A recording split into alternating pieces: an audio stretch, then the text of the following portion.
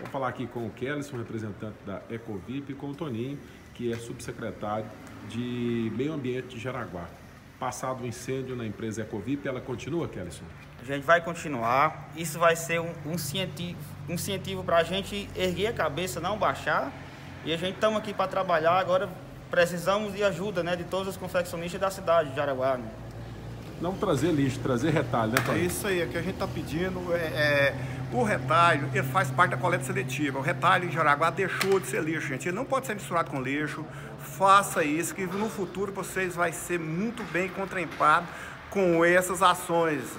Oh, eu quero deixar claro, gente, a T Sanitar não recebe, a T Sanitar não recebe retalho de confecção. É um material que ele é reciclável. Então, hoje nós temos Ecovip aqui para receber ele.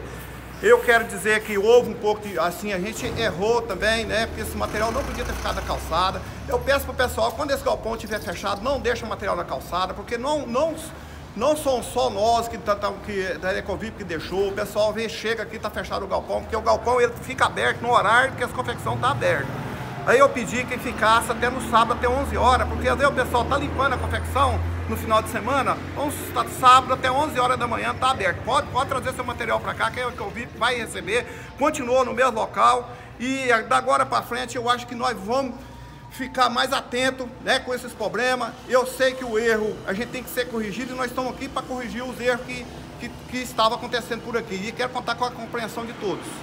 Kellyson, para a gente encerrar aqui, continua recebendo no mesmo local, Isso, só que um galpão acima e, e, e, a empresa vai assumir todos os prejuízos. Vai assumir todos os prejuízos, vai tomar todas as medidas cabíveis e por enquanto não acaba a reforma do, do, da gente do lado aqui, vamos ficar recebendo material ladinho, mesmo local e vamos continuar. Preciso da compreensão de todos agora.